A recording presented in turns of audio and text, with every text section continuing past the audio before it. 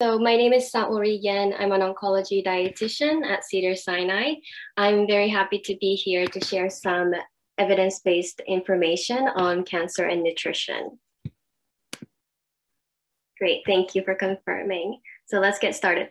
There was so much that I wanted to share with you, but since um, we have limited time, I, I wanted to focus on things that come up a lot in my practice. So whether there are questions or concerns about cancer nutrition. So I hope that some of the topics we're going to discuss today will resonate with you. But if there's anything in particular that you want me to talk about, um, please let me know at the end of the presentation. So I would like to know, um, I can't see you, but how many of you know the difference between a dietitian and a nutritionist? Because I think many people might use the terms, two terms interchangeably, but there is a big difference. So I just wanted to clarify what the, the differences are. So in the US, the term nutritionist is actually not a legally protected term, meaning anyone can pretty much call him or herself a nutritionist without proper education and training. So what you want to be looking for if you're looking for a nutrition professional is to look for a registered dietitian. So as a registered dietitian, we have to go through an accredited program, a year-long dietetic internship before we can sit for the national board exam. And many of us do have at least a master's degree, and we're the only nutrition prof- professionals that can provide what's called medical nutrition therapy for uh, disease management, such, such, as cancer. And some of us also have a special certification, um, such as CSO, which stands for Board Certified Specialist in Oncology Nutrition. And if you've never met with a dietitian before, I just wanted to share with you some of the things that we can help you with. So we do use evidence-based information to provide recommendations that are specific and unique to you. Um, so that's that might be the difference between searching for things online or you know from books, um, because we work with you one-on-one to make sure um, that we together come up with strategies to help you meet, uh, uh, help you reach your nutrition goals. And during treatment, especially, we can help prevent or minimize nutrition related side effects. So that could be maybe decreased appetite, nausea, uh, changes, changes in your bowel pattern, things like that. We often have to help debunk cancer nutrition myths that are out there and translate research findings. We often discuss supplement use, drug and nutrient interactions, therapeutic diets, in some cases, artificial nutrition like tube feeding or IV nutrition. And of course, we provide individualized counseling to reduce the risk of cancer recurrence. So again, thank you for joining me. You're at the right place if you if any of the following applies to you. So if you feel overwhelmed and confused about nutrition advice, then you're at the right place. Um, if you're concerned that certain foods might be bad for cancer, then we'll talk about that too. And lastly, if you want to do everything in your power to fuel your body the right way to fight cancer, then you're at the right place. Let's jump right in. If you're confused about cancer and nutrition, you're definitely not alone. Um, you know, especially the internet, internet, but even before the internet, many cancer patients heard, you know, um, different recommendations, advice from well-intended people, um, but it can be confusing because there could be conflicting information that you're coming across. So let's talk about how to tell if nutrition information is true or false. I'm not sure if you've ever seen anything like this. This is called the hierarchy of evidence. So ne the next time you come across any intriguing nutrition headline or book or advice, I want you to dig a little bit deeper to see where that information is coming from.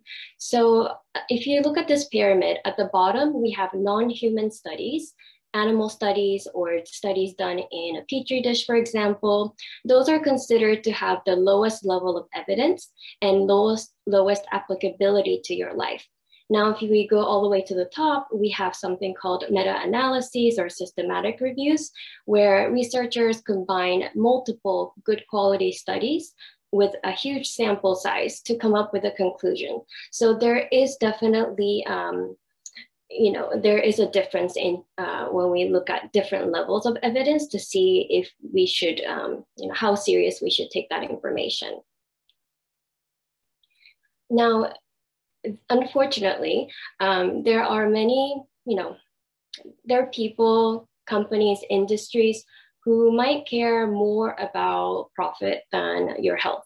So we have to be always cautious as a consumer in general, what we consume, but also the information that we consume here are some, just some of the nutrition red flags that I want you to be mindful about.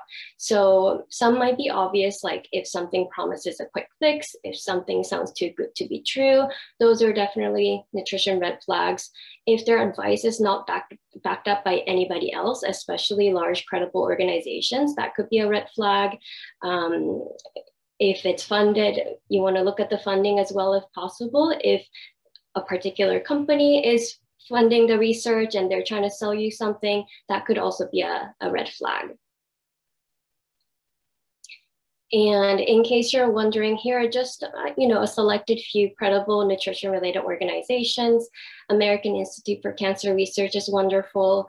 Uh, the Academy of Nutrition and Dietetics, which is the governing agency for registered dietitians, there's also a subgroup for oncology nutrition. So um, that is open to the public. And if you're looking for anti-cancer recipes, cookforyourlife.org is a great resource that I recommend.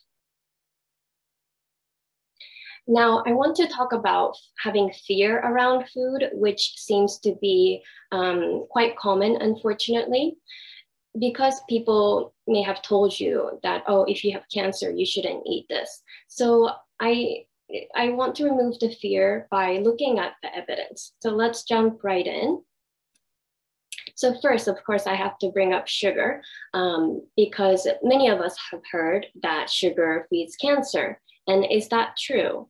So it's both true and false, depending on what you mean by sugar feeds cancer. There is a difference between naturally, naturally occurring sugar, like the sugar you might find in fruits, or dairy products, for example, versus added sugar. So things like table sugar, honey, maple syrup, things like that. There is a difference there. And we, if we're talking about blood sugar, like glucose, then we have to realize that glucose feeds both our healthy cells and cancer cells. And it's true that cancer cells have a different metabolism. They are rapidly growing and they might use up more glucose. However, it doesn't mean that we can tell our food where to go. Um, and even if you stop eating added sugar completely, unfortunately, cancer cells are very smart. They will find other ways to fuel itself and its growth. So the current recommendation is to minimize added sugar to about 10% of your total calorie needs per day. So for instance, if you consume about 2000 calories, that would be about 50 grams of sugar or about uh, less than four tablespoons of sugar per day. Now, how about carbs? Um, you may, recently, I think there are more hot topics might be ketogenic diet, intermittent fasting. Um, how about, shouldn't we be following a low carb diet? Well, it depends on what we mean by low carb. So carbs are, uh, you know, it, it's the main energy source for humans. Our brain thrives on glucose there is a difference again between complex carbs and simple or processed carbs. And we know that most Americans, unfortunately, we don't get enough fiber that comes from complex carbs. So we actually want to be increasing the types of complex carbs. Um, so things like whole fruits, vegetables, whole grains, legumes like your beans, uh, chickpeas, lentils, nuts and seeds. Those are great sources uh, of fiber. How about red meat? So red meat, and there is red meat and there's processed meat. So there is some convincing evidence that red meat can increase the risk of certain types of cancer, such as uh, colorectal cancer, for example. So the recommendation is to limit your intake of red meat to 12 to 18 cooked ounces per week. And for processed meat, since there is a stronger evidence, the recommendation is to avoid if possible. And what matters also is not just the quantity of red meat that we eat, but also how we cook them. So we really want to avoid cooking it at a high temperature um, or charring it. And um, and also, also, um, sorry, I was looking at the chat box. Um, cooking, uh, we want to avoid cooking, cooking it at a high temperature. Also, picking a leaner cut of meat is also beneficial, especially if you're barbecuing or something like that, because the saturated fat that drops into the, the coal, um, that can create more carcinogen. So, mm, you know, having a smaller portion is helpful. Cooking at a lower temperature is helpful choosing a leaner cut is helpful. Marinating can actually have a protective effect if you're grilling or like barbecuing. You can also partially pre-cook, meaning you don't have to cook at a high temperature um, from the beginning to the end. And the next one that I wanted to talk about is dairy. Isn't dairy bad for cancer? And not necessarily. There is um, if you're, of course, you know, lactose intolerant or something like that, you do not need to consume dairy, but there, there are, dairy offers a lot of beneficial nutrients, things like calcium, vitamin D, protein. And if you consume something like kefir, it can have probiotics that are good for your gut and your immune system. There seems to be a difference between non-fat or low-fat versus whole milk products. But again, it depends on what your nutrition goals are. So if you if you're trying to gain weight then whole milk can be helpful but if you do not have that goal then perhaps you can stay with a non-fat or low fat to limit your intake of saturated fat coming from animals. And if you do not consume dairy and want to meet your calcium needs from food, I recommend choosing non-dairy milk, for example, that is fortified with calcium and vitamin D, as well as you can try tofu that's made with calcium, or if you like small, uh, small fish, with edible, uh, edible bones, that could be a great source, as well as some leafy green vegetables. And lastly, um, alcohol. So alcohol does contain ethanol, which is known to be a carcinogen. And when we consume alcohol, it actually forms another type of carcinogen in our body. And what's worse, it, when we drink alcohol and consume a dietary form of carcinogen, let's say it's, you know, barbecued hot dog or something, then the alcohol helps that carcinogen penetrate more into our body. So the recommendation by the American Institute for Cancer Research is actually to avoid alcohol altogether if that's an option. Um, but if you choose to drink, um, then limit it to one drink per day for women and two drinks per day for men. Now let's switch gears to talk about what our body needs to thrive. So I really want to emphasize that I want nutrition, I want you to make nutrition work for you and not the other way around, meaning there's no need to follow some strict diet and be stressed about eating. There is more than one way to eat um, to fuel your body the right way. So if you can remember the hierarchy of evidence pyramid, if, if you remember at the top, we had systematic reviews and meta-analyses where you know, researchers look at multiple studies um, and come up with a conclusion. So when we look at decades of research and where we are today, the current recommendation is to follow a plant-forward eating pattern that are minimally processed. So it doesn't mean that you need to become a strict vegan or vegetarian. You can have some animal foods as well, but we want you to incorporate more plant foods. So again, things like whole grains, different types, vegetables, colorful fruits, um, and legumes, uh, including soy foods. And why is that? Why does this type of eating pattern seem to be effective for reducing cancer risk? And a part of it seems to be the phytonutrients that are in plant foods. So phytonutrients are nutrients that are only found in plants, and there are thousands of them. You may have heard about a few like carotenoids or lycopene or isoflavones. So those are different phytonutrients that protect the plants when they're growing, but they also seem to have different anti-cancer mechanisms after we consume them. And of course, plant foods also have a variety of vitamins, minerals, fiber, and the good thing is that they seem to have synergistic effects, meaning one plus one doesn't equal two. One plus one seems to equal more than two, meaning if you have a variety of colorful plant-based foods on your plate and eat them together, they seem to have beneficial added effects. Now here's a, just a quick visual of uh, what's recommended. So I know it's almost lunchtime, so perhaps you can keep this you know, picture in mind. So on the left side, we have the old American plate. So, um, you know, a big piece of steak with mashed potatoes and a starchy vegetable. And there's, you can have these foods if you like them, but the, the recommendation is to move um, away from a huge piece of, you know, animal-based food and a lot of starchy food to more um, you know non-starchy vegetables a smaller portion of um, animal animal-based food.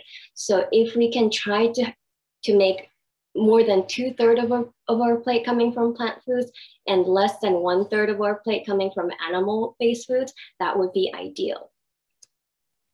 And if you are interested in learning more about various foods and the phytonutrients and the anti-cancer properties that they provide, I recommend going to American Institute for Cancer Research website. They have a page called Foods That Fight Cancer, and you can click on each of these foods to see what type of research has been done.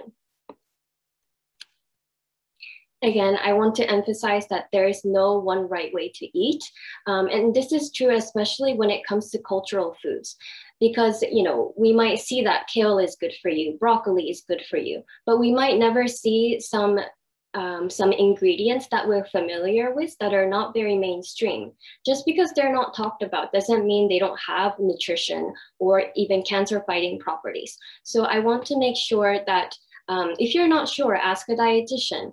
Um, there is a way to eat in a helpful way, um, regardless of your preference or your budget or lifestyle. What matters more is that you're eating adequately and having a variety of foods.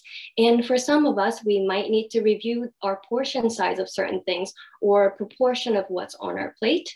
But again, don't worry too much about specific nutrients or superfoods. What matters more is your overall eating pattern. It's always good to um, have that, you know, have that perspective um, and not get caught up in tiny little details. Um, and especially during treatment, we might have to shift priorities as needed. So keeping a, an open mind, is, it can be crucial because yes, there maybe an ideal way to eat. But if you don't have a good appetite, if you're feeling nauseous, if you're having GI symptoms, then it might not be possible. But that's also where a dietitian can help you. So if you are having any questions or any issues, please reach out to your oncologist and ask for a, a referral for a dietitian. And here's a quick nutrition checklist during, especially during treatment. Um, so regardless of your preference of or, or you know preference of eating i want everyone to make sure that they're getting enough calories so you're not losing weight unintentionally and especially your muscle mass. I want to make sure you're having protein with every meal drinking enough uh, fluids again whole foods plant-based foods optimizing medications to control your symptoms and you might have to adjust eating pattern with a with the help of a dietitian. And supplements is a whole nother topic, but we do re uh, recommend avoiding supplements that might not be clinically indicated. And of course, always discuss with your provider and stay physically active if that is possible for you. Now, if there is something that you are not able to check off from the previous slide, or if you have any other nutrition related goal for you, I wanna briefly talk about how you can change your eating habit. I view every meal as an opportunity to nourish your body. Um, so, you know, let's say it's a special occasion, you're traveling and, you know, you enjoy, you enjoy yourself. That's perfectly fine. The next meal is another opportunity um, to, you know, to start fresh the best advice that I can uh, provide is to start small and be consistent. That's the best way to create a new habit. Um, it might start with self reflection to see what you want to work on, what your weaknesses might be, what some of the obstacles might be to achieving your nutrition related goal. Experimenting is, is important. So, you know, one way to, you know, there's more than one way to achieve a nutrition related goal and have, having a buddy system or accountability partner can be very helpful as well. And keeping track of progress can be rewarding. And I want us to focus on progress, not perfection. Um, planning for setbacks is very um, important because that's expected. That's part of the, the journey. So, um, if there are three things that you could take away or remember from this presentation, is that number one, I want you to seek nutrition guidance from a trusted evidence based source. And number two, what matters most is your overall eating pattern. Don't stress so much about a single meal or ingredient or nutrient. And number three, I want I want you to make nutrition work for you, not the other way around. Personal personalization is key. So thank you so much for your interest and attention. I, I'm ready for any questions that you might have.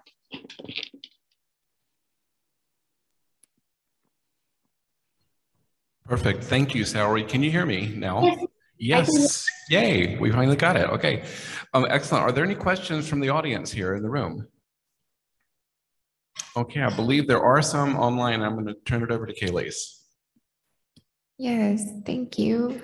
Uh, so the first question online was, can you clarify the sugar recommendation of 50 grams a day? Is that just for added sugar or all sugar, including naturally occurring sugar? Yeah, thank you for that question. It's for added sugar, and 50 grams is 50 grams is it's based on a 2,000 calorie diet. So depending on what your personal needs are, it could be less or more. Thank you. Uh, somebody else asked, can you talk a bit about nutrition during chemo? Eating can be a challenge and avoiding eating uh, only applesauce and crackers. Yeah, that's, um, I hope if you're getting chemo, I hope you also have access to a dietitian wherever you're getting treated. So if you're you know, if only applesauce and crackers sound good to you, I wonder if you're having decreased appetite or nausea. Um, I do want to make sure that your nausea is well managed with medications, first of all. And there are so many other things that you can try that are refreshing. And, um, but things like applesauce, that's great. Um, crackers, that's, you know, I see those two as two different groups. So refreshing food and crackers, dry starchy food, not just crackers, but toast pretzels, um, uh, dry cereal, those are helpful. Um, and I also want, want you to stay hydrated as, hydrated as well. There are also clear liquid protein drinks that might be helpful if you if you feel that regular smoothies and shakes um, are, are too heavy. But I recommend optimizing your medication and working with a dietitian to come up with uh, different ways. So especially because with the applesauce and crackers, you're not getting any protein. So um, I hope you get one-on-one um, assistance with that. Thank you. Another person asked if you could say a little bit about shifting focus from calories to macronutrients. Um, okay, so I wonder, um, I wonder if if I can get a little bit of clarification, shifting focus from calories to macronutrients. I wonder um, if the audience is asking like how much carbs you should have and protein and fats. So that's individualized. But when it comes to um, going through cancer treatment, especially, we do focus on calories and protein next. So depending again on you know it, it's difficult to say without knowing you so for example if somebody also has a kidney condition then we can't um, overdo the protein either, depending on their level of disease. But in general, um, we want you to, and, and, it also depends pediatric or adult patient. But if you're an adult patient with no kidney issue, I would recommend to consume at least 1.2 grams per kilogram of body weight of protein per day. Thank you. Yeah, they just clarified that you know, the calories are not the main metric. I think they might be talking about counting and shifting, but you answered that well. Okay. Um, another person said, Do you agree that prepackaged healthy meals are often processed and high in sodium and that preparing your own meals is more favorable? Um, I think that really depends. I highly encourage looking at the nutrition label. So, the nutrition facts panel and the ingredient list prepackaged meals can be very helpful for patients who don't have a good support and they don't have the energy to cook. So I don't write it off as, you know, do not eat. I don't write off anything as do not eat. So it just depends on, you know, not necessarily the brand name. I would really look at the individual product that you're interested in to see if it actually has a lot of, you know, um, so- sodium or whatever um, nutrient you might be concerned with. Thanks. Another person asked, should my doctors be telling me what my calorie goals are during treatment versus pre-treatment? So from my experience, it's usually the dietitians who will help with that. But um, I, I believe some doctors, um, I would I encourage you to um, to get a referral to the to the dietitian because from my experience working with oncologists, anything related to nutrition, they just defer to a dietitian, um, and they can definitely help with, um, you know, with medical, um, making other medical decisions. Okay, thank you. And the last question, um, somebody said, I have been following the Budwig diet. Have you heard of this? It's similar to keto. Yes. Um, so there are many um, many diets like the Budwig diet. Um, so Budwig diet in uh, specifically, it's not, it doesn't have um, scientific evidence to recommend it. There could actually be potential nutrient deficiencies or other concerns. So again, um, if you've been following it, I think it would be helpful for a dietitian to take a look to see if there's anything, any concerns.